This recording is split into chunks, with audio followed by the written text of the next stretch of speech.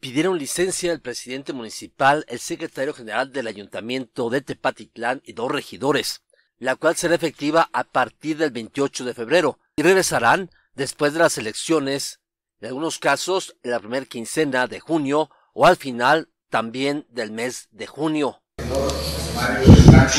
Para que se se le conceda licencia sin goce sueldo a partir de las 0 horas del día 28 de febrero del 2024 y hasta las 24 horas del día 30 de julio del 2024, reintegrándose el día 1 de julio del 2024. Tuvo presidente solicitud por parte del ciudadano regidor José Romero Martín para que se autorice, se le concede licencia sin coste de sueldo con efectos a partir de las 0 horas del día 28 de febrero del 2024 y hasta las 24 horas del día 30 de junio del 2024. Presidente, solicitud de parte del ciudadano presidente municipal Miguel Ángel Esquivias Esquivias para que se autorice con fundamento la ley para los servidores públicos del Estado de Jalisco y del Código Electoral del Estado de Jalisco la licencia sin coste de sueldo del licenciado Juan Antonio González, secretario general, el 18 de febrero del 2024 y hasta las 24 horas del 15 de junio del 2024, reintegrándose el día 16 de junio del 2024. Todo parecía que iba a ser una sesión de ayuntamiento de trámite, aunque tuvo sus controversias y señalamientos. Uno de estos aspectos fue la petición de licencia del presidente municipal Miguel Ángel Esquivias.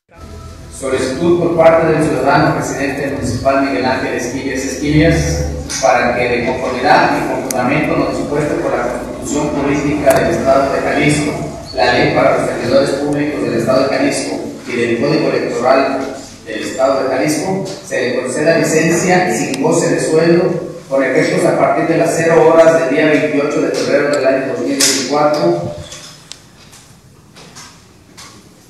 y hasta las 24 horas del día 30 de junio del 2024, reintegrándose a laborar el día 1 de junio de 2024. Es cuanto, presidente. Muchas gracias, eh, secretario. Bueno, regidores, como lo acaban de mencionar, es una solicitud por parte de un servidor de licencia, solamente quiero hacer una corrección. Eh, no es a partir del día 28 de febrero, mi solicitud es a partir del día 27 de febrero y hasta el día 30 de junio.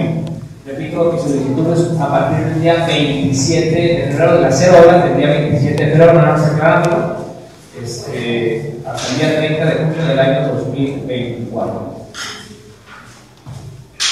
¿Alguna pregunta, compañeros? Adelante, regidor. Bien, presidente, si voy a por favor. Nada más, eh, antes quiero hacer dos comentarios.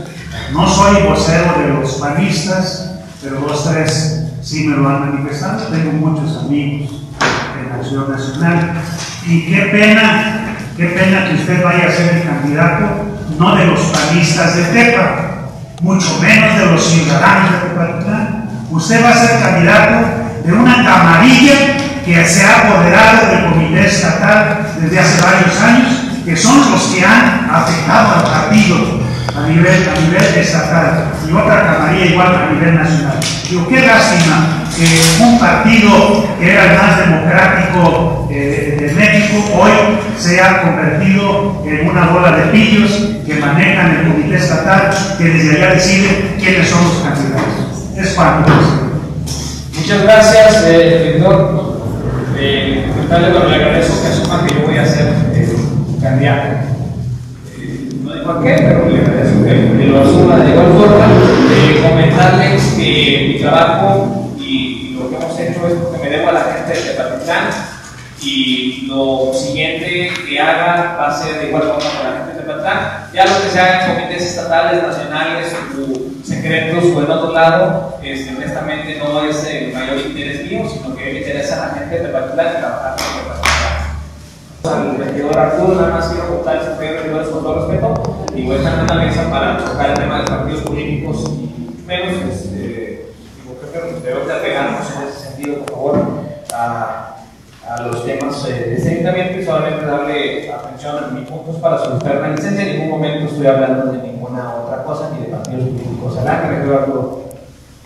Sí, gracias, presidente. Sí, abonarle lo que acaba de mencionar, que pues, este recinto se tiene que respetar y no mezclar eh, temas que no corresponden. A lo mejor esto que mencionó regidor Ramón no debería, de haber dicho en su momento cuando pertenecía al partido político que mencionó y a lo mejor también en los otros partidos a los que en otros puntos aprobados fueron las reglas de operación del programa Reciclamos, Cuidamos el Medio Ambiente, aprobaron el programa de reordenamiento ecológico y territorial regional de la cuenca baja del Río Verde, así como proyectos de reencarpetado y encarpetado de varias calles en diferentes colonias de Tepatitlán así como reempedrado de caminos rurales. En Capilla Guadalupe, en la zona urbana, van a construir una ciclovía. En ese punto se estuvo preguntando acerca de por qué primero no se ponía una calle lateral y después la ciclovía. Se habló acerca de la seguridad que habría al colocar esta ciclovía en la zona urbana de Capilla de Guadalupe al final fue aprobada esta obra en esa población. En otro punto que causó controversia fue la aprobación de recursos para la reprogramación de dinero del programa del ramo 33 para la obra del Camino de los Mártires. Aquí se pidió intervención del sacerdote José Guadalupe Prado para que explicara el proyecto, algo que no se podía como está marcado en la ley, donde solo pueden participar funcionarios y regidores del ayuntamiento. Todas formas, el regidor Ramón González tomó la palabra y señaló los aspectos del proyecto donde habló que durante varios años no les habían hecho caso. Parte de la obra es un camellón de 9 metros donde señalaban que podía ser usada para diferentes fines de recreación, así como las calles de empedrado. Al final quedó un camellón de 6 metros junto con las calles que llevan a San José de Basarte. Esta obra empezaría desde el hospital de IMSS hasta esa comunidad. Se dijo que al realizar estos trabajos y estas obras se brindaría mayor seguridad para quienes van a San José de Basarte debido a que ahorita tienen que hacerlo por la carretera federal y al tratar de ingresar o salir de esa comunidad ha habido varios choques donde han perdido la vida personas. Por lo tanto, se dice que con esta obra se mejorará la seguridad para quienes van a esa comunidad